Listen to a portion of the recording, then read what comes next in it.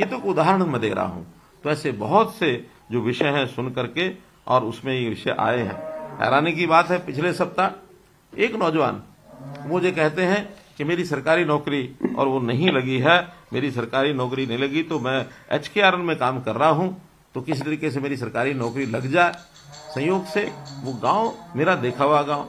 मैंने जब पूछा कि आप कौन से परिवार से हैं तो हैरानी की बात यह है कि वो ऐसे शख्स का भतीजा कि जिस शख्स के जिम्मे हरियाणा प्रदेश के नौजवानों को नौकरी देने का काम है, ये ठीक है, वो अपनी मर्ज़ी से नौकरी नहीं दे सकते। और वो कौन है? स्टाफ सिलेक्शन कमीशन के चेयरमैन, श्री भोपाल सिंह जी। यानी जो स्टाफ सिलेक्शन कमीशन का चेयरमैन भोपाल सिंह, उसका भतीजा भी वो नौकरी नहीं दे सकते तो इसमें से आपको विश्वास होगा कि नौकरी यहाँ पर्ची और खर्ची से नहीं मिलती है। अब नौकरी हमारे किसी के सिफारिश करने से, कहने से नहीं मिलती है, नौकरी मिलेगी योग्यता से।